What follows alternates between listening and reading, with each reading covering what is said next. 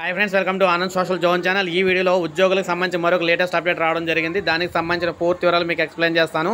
ఇక టాపిక్లోకి వెళ్ళిపోదాం. ఈ వీడియోని లైక్ చేయండి సబ్స్క్రైబ్ చేసుకోకపోతే మన ఛానల్ సబ్స్క్రైబ్ చేసుకోండి. ప్రతి లేటెస్ట్ అప్డేట్ మీకు ఇవ్వడం జరుగుతుందన్నమాట మన ఛానల్లోని సో ముఖ్యంగా సంబంధించి చూసుకున్నట్లయితే ఉద్యోగులకు సంబంధించి మార్చిలోపు పరిష్కరిస్తామన్నారని చెప్పేసి చెప్పారనమాట అంటే ఉద్యోగుల ఆర్థికేతర సమస్యలను మార్చిలోపు పరిష్కరిస్తామన్నారు. పదహారు వందల కోట్ల ఉద్యోగుల నిధులకు సంబంధించి బెనిఫిట్స్ త్వరలో ఇస్తామని కూడా చెప్పారనమాట అయితే మనం చూసుకున్నట్లయితే పీఆర్సీపై పీఆర్సీపై అన్ని సంఘాలు కూడా ఒకే మాటపై ఉన్నాయి. ఫిట్మెంట్ను ముఖ్యమంత్రి వచ్చే ఇచ్చే తేల్చాలంటే ఆయనే తేల్చాలని చెప్పేసి కోరారని చెప్పి చెప్తున్నారన్నమాట. అదేవిధంగా పీఆర్సీ అంశానికి ముగింపు అయితే పలకాలని చెప్పేసి మనకి ఇక్కడ కోవడం అయితే జరిగింది. ఉద్యోగుల పీఆర్సీ అంశానికి వెంటనే ముగింపు పలకాలని కోరం. పెన్షనర్ల సమస్యలను కూడా వెంటనే పరిష్కరించాలని ఫిట్మెంట్పై ప్రభుత్వం క్లారిటీతోనే ఉందని చెప్పేసి ఇక్కడ ఈ విధంగా తెలియజేశారన్నమాట.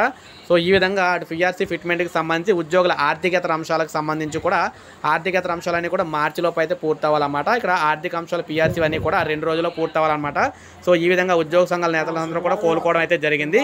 సో ఈ విధంగా మనకి ఆంధ్రప్రదేశ్లో ఉద్యోగ సంఘాలు అందరూ కూడా ఈ ఈ విధంగా కోరుకుంటున్నారు. పీఆర్సీ ఫిట్మెంట్కి సంబంధించి అది కూడా ముప్పై నాలుగు శాతంగా అయితే తగ్గకుండా ఉండాలని చెప్పేసి వీరైతే కోరుకుంటున్నారన్నమాట. సో రాష్ట్ర ప్రభుత్వం ఏం చేస్తుందనేది చూడాలి. సో ఇది ఫ్రెండ్స్ ఈ వీడియో. వీడియోని లైక్ చేయండి సబ్స్క్రైబ్ చేసుకోకపోతే మన ఛానల్ సబ్స్క్రైబ్ చేసుకోండి.